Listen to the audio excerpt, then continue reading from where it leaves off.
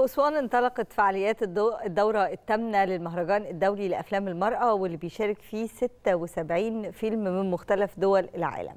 من المقرر أن يستمر المهرجان لغاية يوم 25 إبريل الجاري بمشاركة عدد كبير من صناع السينما في مصر والعالم. وتونس هي دولة الضيف شرف الدورة الثامنة للمهرجان.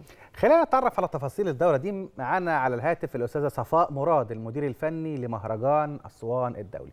أستاذة صفاء بعد التحية مهرجان أسوان يعني يختلف أو يتميز عن باقي مهرجانات السينما بأنه مخصص لسينما المرأة لمهرجانات المرأة. إزاي ده هيبان من الفعاليات من خلال الأفلام المعروضة أو المشاركة في هذه الدورة؟ صباح الخير واهلا بكم ميرسي لكم على اهتمامكم. أهلا بيك. المهرجان هو كل التيمه بتاعته أساسها المرأة. كل أساس فعالياته قضية المرأة بنناقش كلها قضية المرأة أو بتكون الأفلام لمخرجة مرأة.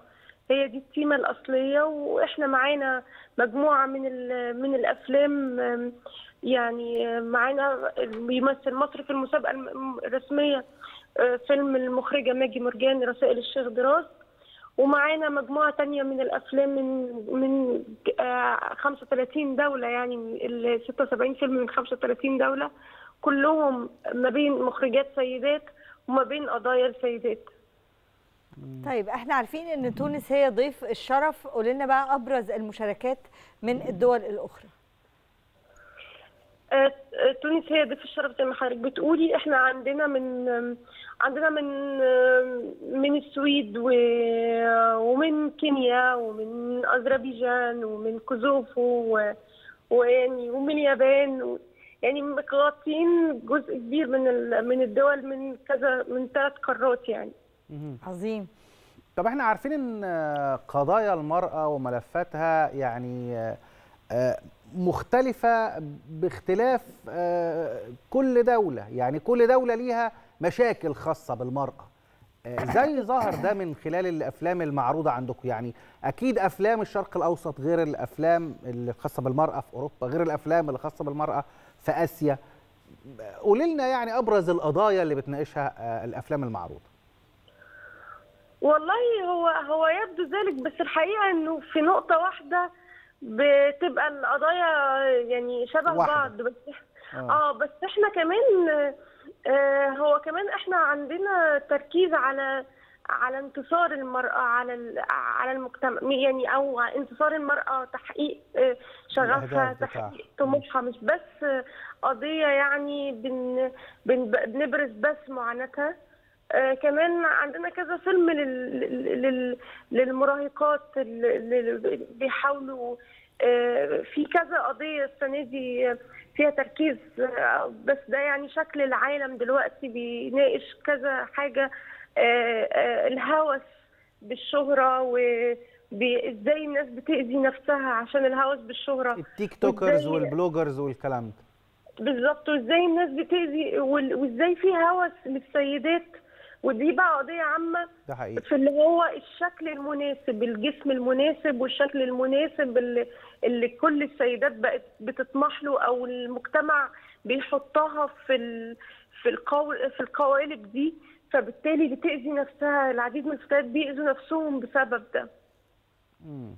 طيب هل في شكل معين للقضايا المطروحة اللي هيتم اختيار المكرمين على أساسها؟ اختيار المكرمين تم إزاي؟ ومين أبرز المكرمين؟ أبرز المكرمين عندنا الفنانة غادة عادل من مصر المخرجة هالة خليل من مصر المونتيرة الكبيرة كاهنة عطية من تونس الفنانة ألما بويستي من فنلندا آه كمان آه فنانة هند صبري من تونس كرمناهم ما جت تونس مصر. آه طبعا كل ما يعني السيدات اللي إحنا بنتكلم عنهم هم ودكتوره منى الصبان كمان أستاذة أكاديمية كبيرة. آه طول الوقت آه مكرمات سيدات يعني حققنا نجاح يعني مميز ومهم يعني. بالإضافة لده إحنا عندنا برامج بس عشان كنتوا بتتكلموا عن الأفلام وكده إحنا عندنا برامج مخصوص لفلسطين والسودان. بتتكلم عن معاناة المرأة الفلسطينية والمرأة السودانية ما قبل الحرب كمان يعني ما قبل الحروب في المنطقة. عظيم عظيم. معلش أنا طماع شوية إن أنا أعرف برضو نوعية القضايا يعني حضرتك ركزتي على قصة الشهرة أو طمع المجتمع في المرأة ونظرة المجتمع للمرأة من الزاوية دي بس وقضايا الحروب. بالتأكيد في مشاكل يعني أكيد المرأة الشرق أوسطية أو الأفريقية أو العربية قضاياها أو مشاكلها غير المرأة الأوروبية. أكيد هناك في مشاكل مختلفة في مشاكل في آسيا. بعيد السؤال مرة ثانية على حضرتك. المرأة يعني المرأة العربية مختلفة عن المرأة الأوروبية. يمكن إحنا أنا برضه هرجع أقول لحضرتك مش مش معنى إن إحنا القضايا يعني يعني بس لازم معاناتها بس كفاية إن إحنا بنقول إن هي موجودة ومهمة.